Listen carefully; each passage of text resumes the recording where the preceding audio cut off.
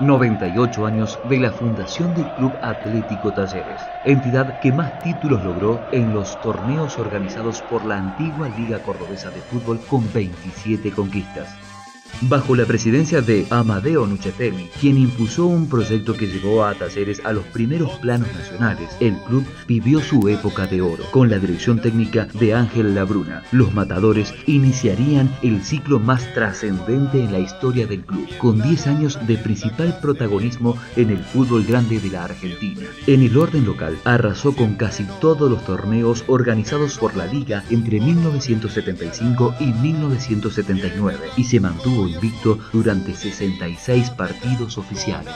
En el Nacional 74 finalizó primero en el grupo D y cuarto en la ronda final cumpliendo la mejor campaña de un equipo del interior hasta ese momento. La anécdota fueron los más de 15.000 personas que acompañaron al equipo al cilindro de Avellaneda, donde River Plate oficiaba de local. En 1975 la campaña volvió a ser brillante, ganó su grupo y finalizó sexto en la etapa final. Las caravanas albiazules eran costumbres para la época.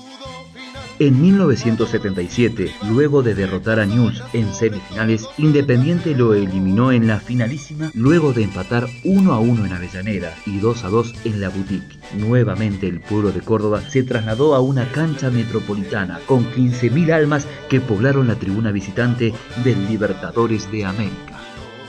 En 1980, cumpliendo con lo dispuesto por la resolución 1309, el club abandonó la Liga Cordobesa para sumarse a los torneos metropolitanos. Invitado a jugar en varios países, Talleres realizó giras por casi toda Sudamérica, Zaire, España, Grecia, Turquía, El Salvador y Guatemala. Recibió la visita de prestigiosos equipos como el Milan de Italia, Barcelona de España, Ajax de Holanda, Deportivo La Coruña de España, Santos de Pelé, hasta las selecciones de Polonia, Bulgaria y Perú, junto a la Argentina, llegaron a Córdoba para enfrentar a Talleres. En las últimas décadas ascendió venciendo a sus clásicos rivales. En 1994 derrotó a Instituto en la final del octogonal y en 1998 el turno fue para Belgrano.